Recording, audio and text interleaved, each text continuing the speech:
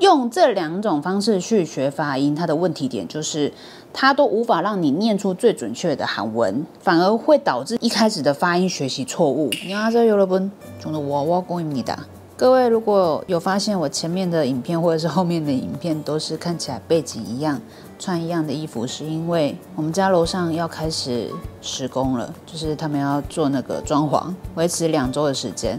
那我掐指一算，发现我现在如果不赶快拍影片的话，它开始施工，然后接下来我应该就要去生小孩了，我就没时间拍影片了，所以只好在同一天就是赶紧写好的稿，赶快。赶快要把它拍完。好，那我们就先进入主题吧。여러분준비다되셨나요그럼시작해볼까요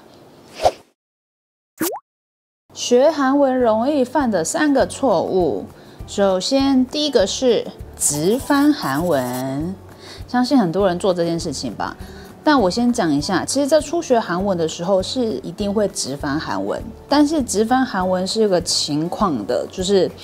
尽可能的使用韩文语顺去直翻它。例如，来看一下这个句子：我喜欢韩文，语顺是我喜欢韩文，但其实你翻成韩文应该是저는한국어를좋아해 요。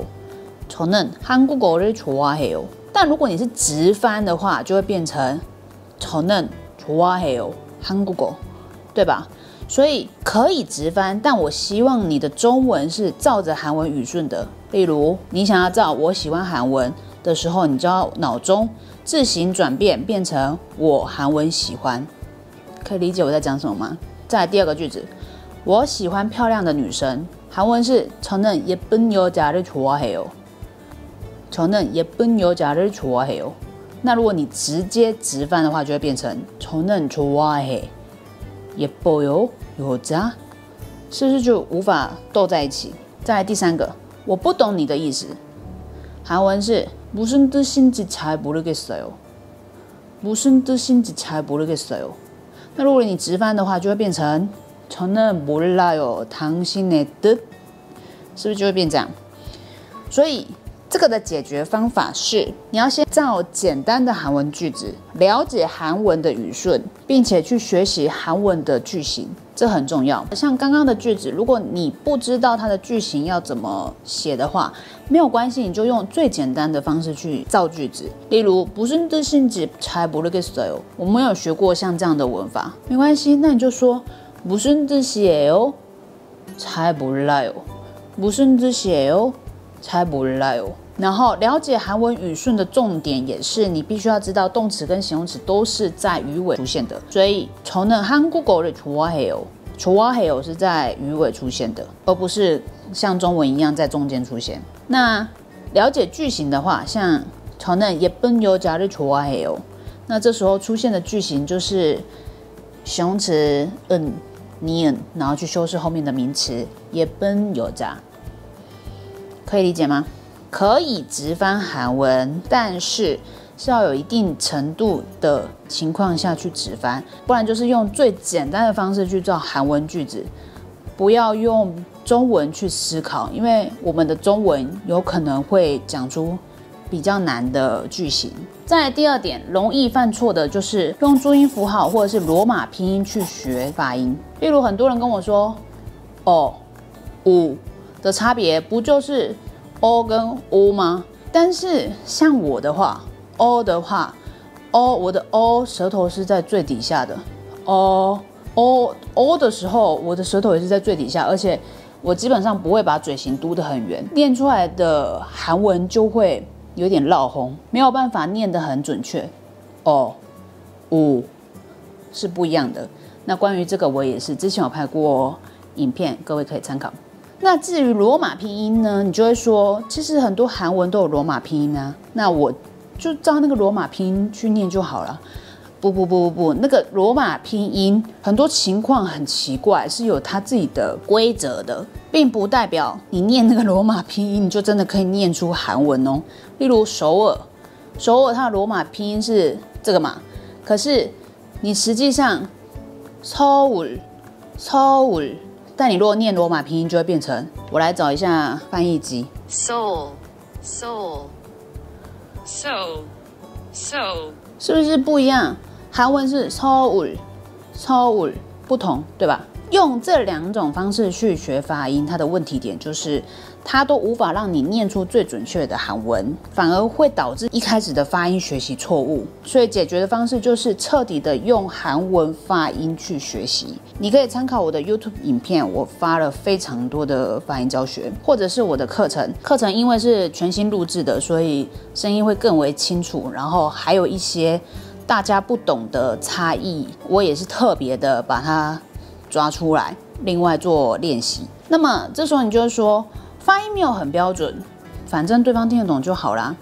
这就是一个最大问题点，你没有办法确定对方是否可以听得懂你的发音。这时候你就会突然一个退缩，他说啊，完蛋了，我的韩文他听不懂，所以你只会对于自己的发音更没自信，更不敢开口。然而毕竟是外国人嘛，你一定会有一个外国腔，但是如果你的发音是绝对的。在他们听得懂情况下是可以正常沟通的，就比较不会有沟通不良或者是闹笑话的情况发生。所以学好发音很重要，讲三遍真的很重要。第三个重点，只输入不输出，这什么意思呢？也就是你只有用肉眼去学韩文，用耳朵听韩文，但是你没有开口说韩文。这个的问题点是会导致。你学习到的用法没有办法跟口语做结合，你真正需要讲韩文的时候，你却讲不出来，这会变成你很会阅读，听力也还不错，可是你真的遇到韩国人的时候，可能会产生两种情况。第一个情况是一句话也说不出来，脑中一片空白，因为你太仰赖先写下来，你太仰赖你要眼睛看得到。第二个重点是你脑中是有句子的，结果说出来嘴巴结巴，因为你的嘴巴口腔。